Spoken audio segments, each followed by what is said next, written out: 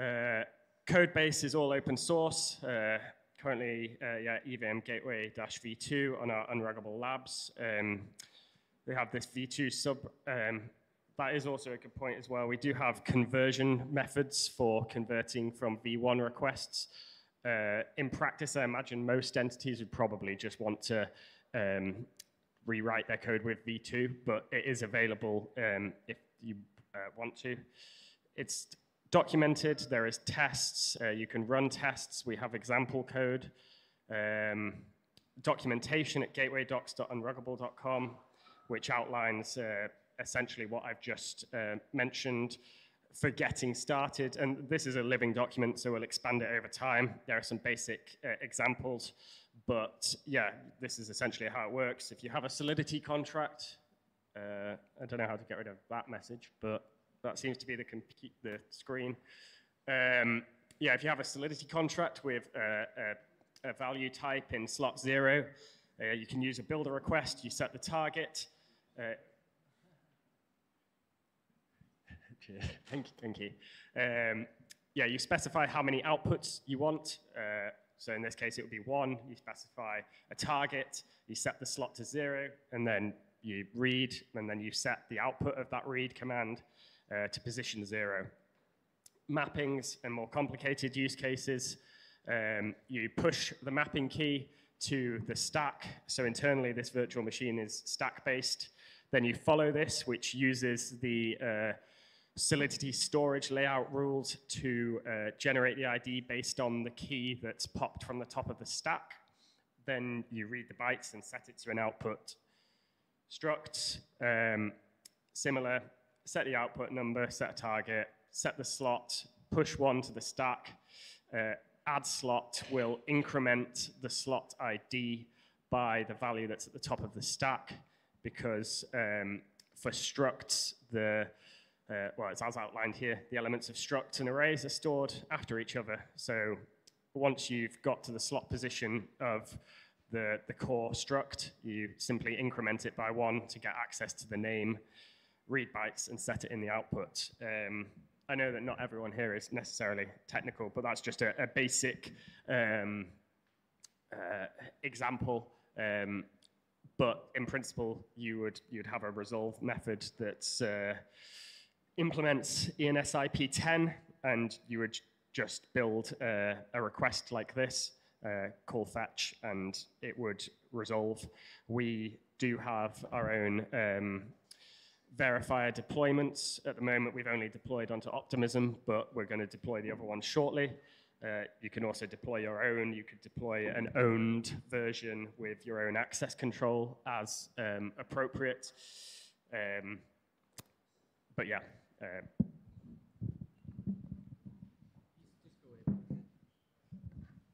Thank you. That, that's that's great. Uh, any plan to support uh, named storage? So recently, there's an effort to push for uh, a new way to uh, assign storage slots in which it's using a, a human readable names, and uh, that was pushed by Open Open Zeppelin teams. So I think it would be helpful to see how they play out in the examples, right? Yeah, so there is um, an API method called set slot where you can set a, a, slot to any arbitrary value. So you could calculate it off chain uh, or subject to any specifications or ERCs that are in process and read values. So that's that's out the box there, and I can add. Uh, I can I'll follow up with you and get find out what that ERC is, but we can add an example for that. I just wanted to ask the requests you have shown us were a simple request where you retrieve the struct or a mapping, right? Do you have an example for a nested request you mentioned? Just like a high level overview, what can be fetched using a nested request? Yes, so not on the documentation, but that OP resolver example is a nested request. Um,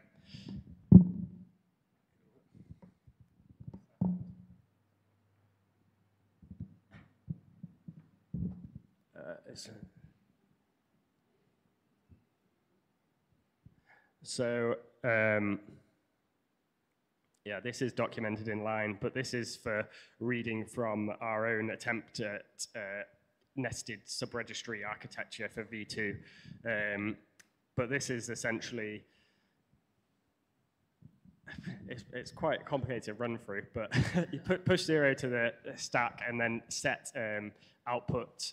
Um, so you're setting that zero to the output in position zero um, because in this request example, we are requesting three outputs, the registry, the resolver, and the resolved address.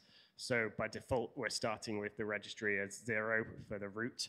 Um, then we push name hashes onto the stack. In our example, we're using name hashes. I believe that Nick's version is not using name hashes. Um, then uh, there's this sub request, which we create here, and then this um, eval method will essentially run this sub request against all of the items on the stack, subject to a flag that's specified here. Uh, you can require non-zero because obviously we need there to be a registry value. Um, and then uh, there's a, another nested sub request. Uh, I, I feel like this specific example should probably document more thoroughly on the, the website after the fact. Yeah, yeah. Rather than kind of trying to run through it all in this context. Brantley as well. yeah. Oh, you've got a mic. Oh, hey. Um, is uh, Coinbase using this for CB.ID? Uh, no, um, I mean, not that I'm aware. We've They're using some sort of CCIP read, correct? They uh, Oh. wrote their own gateway before the V1 even was available of CCI or the EVM gateway. What about Uniswap with uni.eth?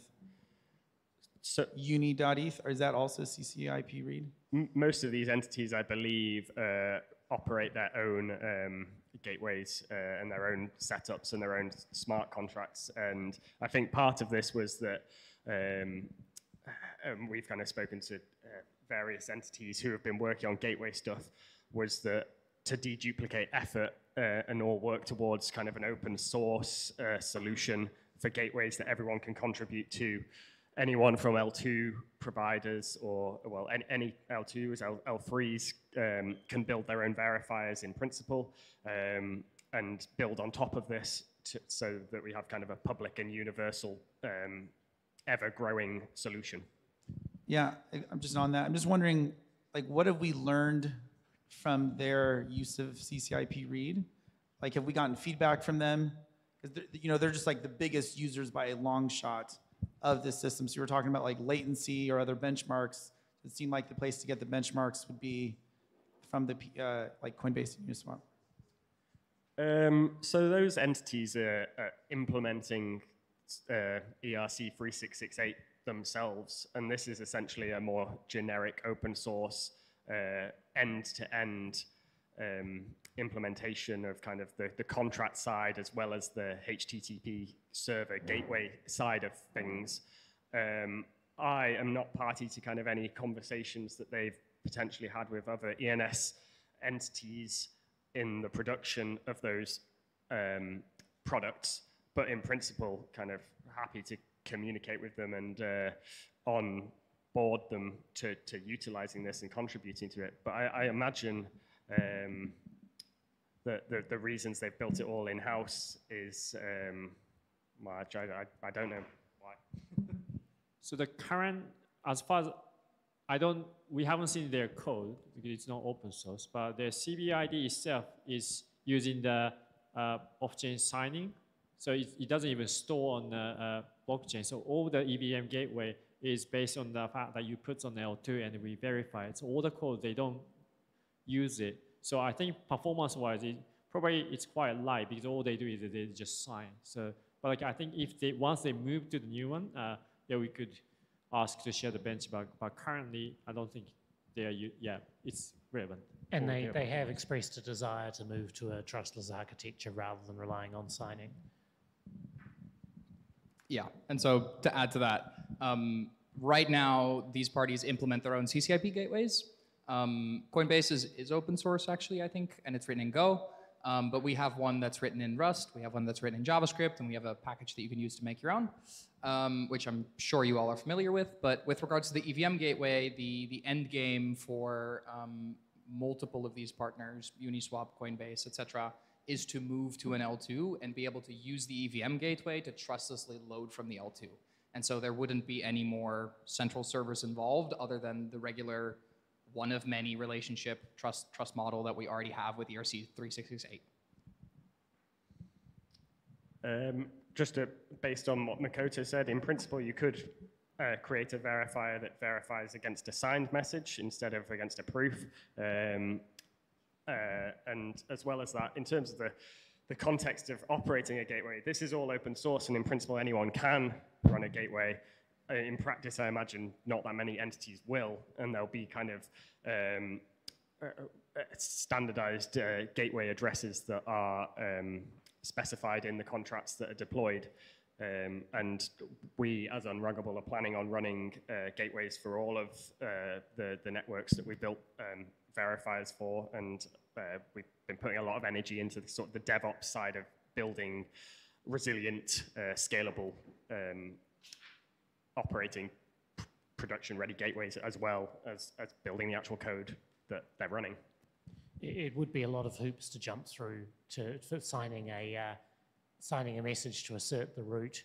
You know, I, I pinky promise that this is the storage root that calculates all these other things when you could actually just sign the response instead. But for things like uh, things that aren't L2s, like Polygon, for instance, being able to rely on a multi-sig signed L2 root means at least that you're not expanding your trust horizon beyond, you know, what people already are for bridges and so on. Yes. Yes, and that just remind another addition to this code base is the ability to uh, specify context and constrain the responses that are allowed to be acceptable so that you can't get stale results um, returned from gateways. Hello. So yeah, we at Linea have already implemented the, let's say, the first version of the EVM gateway. So I was wondering, like, do you already have a path to migration to the basically the old approach to the new approach that you are proposing? Um, yes, so we have, uh, so the, pr the premise of the, the TypeScript and the Solidity implementations are so that you can build in um, JavaScript and then easily convert it over.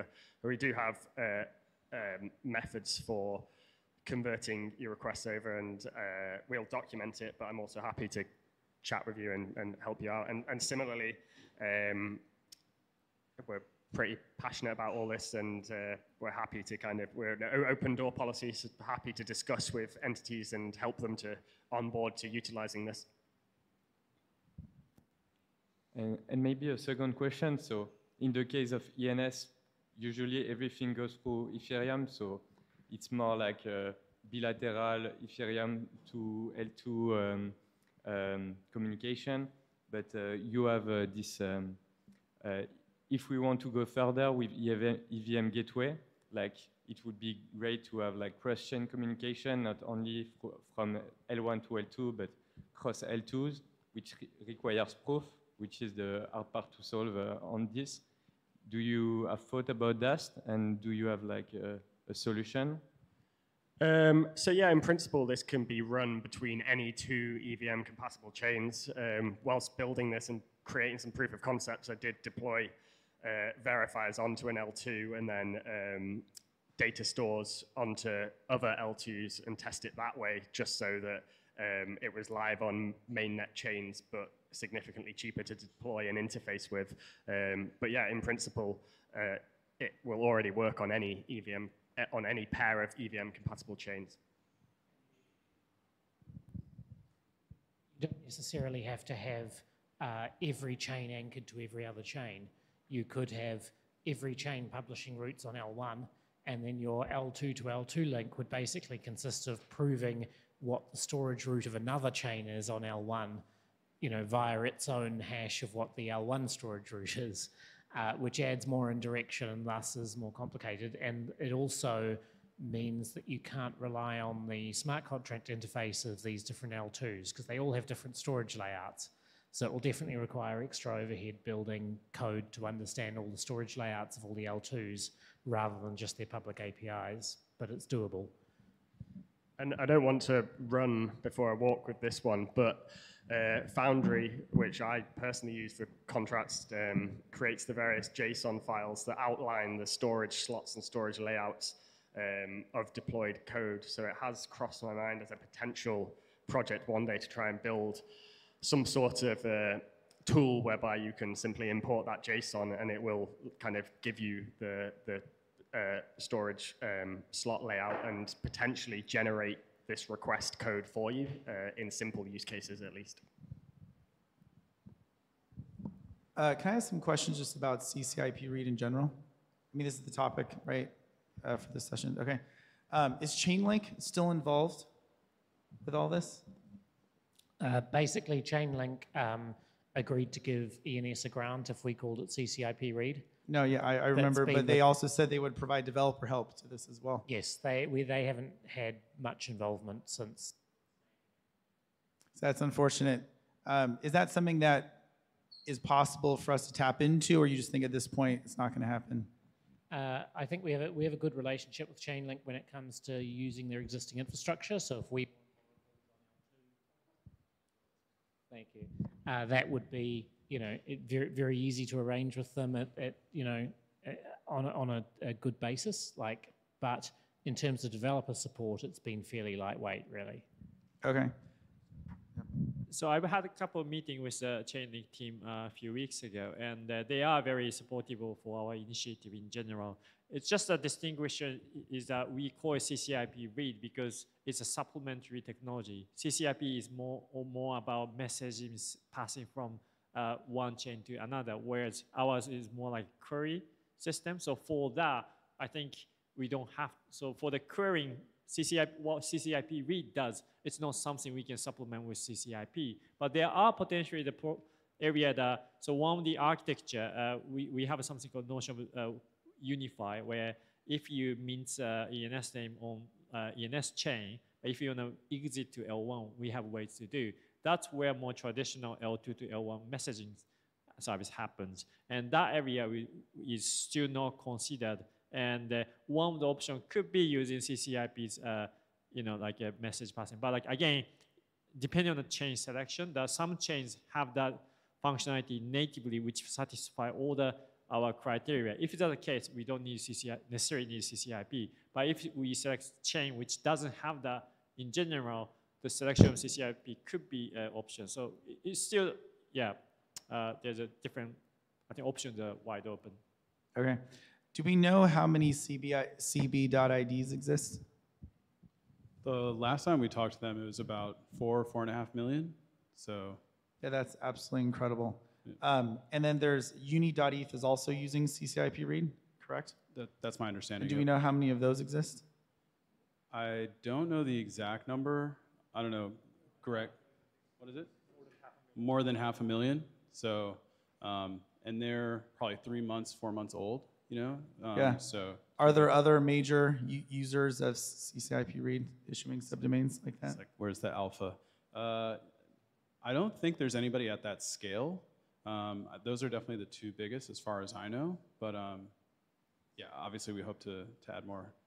Yeah, I'll- I just want to say that I think that's extremely incredible. That's like really, really, really big for ENS. Um, and I think we should talk about that more. Yeah, publicly. totally. Like I just gonna say like CCIP read has been extremely successful for ENS. Yeah. Like just Coinbase alone, that, that's incredible. Yeah, and I would add too, I think one of the like challenges CCIP read has faced is the association to CCIP, and I think people get confused between the two if like Chainlink owns it or not. So one thing we've been thinking about is like how could it be packaged with other things to create like a new kind of like standardized interface that then could be branded in such a way that it's less confusing for people um, who are making this association between ENS and you know and CCIP from Chainlink. Should we give them their money back and change the branding? I mean, if we're getting nothing else, so the original deal It's was good yes, that they they gave us a grant. Number one, we at the time we needed money. Right now we don't need money, so it was a different situation. Number two, the idea was they were going to like help develop things, provide developer support, like even run things. And if that's not happening, then I'd say, you know, that branding is less important. It would seem less important, but maybe we can't take it back. But I don't know. Yeah. I think it's great that they funded open source, and then I think secondarily we can just figure out how to move it forward in such a way versus like kind of like retroactively trying to remove stuff. Yeah, I, Chainlink's been a great partner on a number of fronts, in, including you know um, the the Oracle we rely on for pricing and for for the, their support of, of CCIP read. But I kind of agree that that partnership hasn't developed. I, I'd be happy to rename it back to to Durin. Um, Yeah. I, you know, I'm sure we could find a million dollars to give to them to, for the name. It seems a little over the top, though. Um, I think we we're running short of time on this, uh, Yeah. so we probably need But to agree move on to the L2 stuff.